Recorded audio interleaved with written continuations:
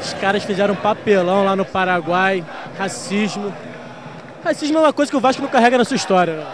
Não, não. Graças a Deus nós não temos essa mancha. E hoje eles vão pagar caro.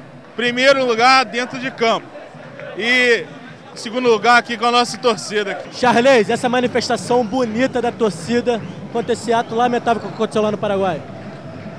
É, o Vasco mostrando que é grande, né, cara? Em pleno século XXI a gente ainda vendo isso aí acontecer, mas o Vasco dá aula, o Vasco dá aula. É um absurdo, cara. Em pleno século XXI, ainda tem pessoas que agem dessa forma, entendeu? Se julgam melhores do que as outras só por causa da cor da pele. Então o que, que Dedé tem que fazer? Tem que mostrar dentro de campo que ele é melhor. Ele tem que passar por cima de todo mundo, cara. Que dentro de campo ele vai mostrar quem é o melhor. Aqui eles não vão ganhar nada. Pra cima deles, Dedé! E aqui vai ser diferente. A gente vai tratar ele muito melhor do que eles trataram a gente lá. Dá a resposta pra eles. Quer ver alguma resposta? Mostra a resposta pra eles. Pra você a resposta pra eles, ó.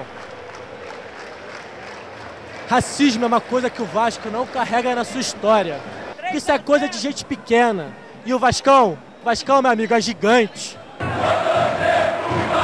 Vasco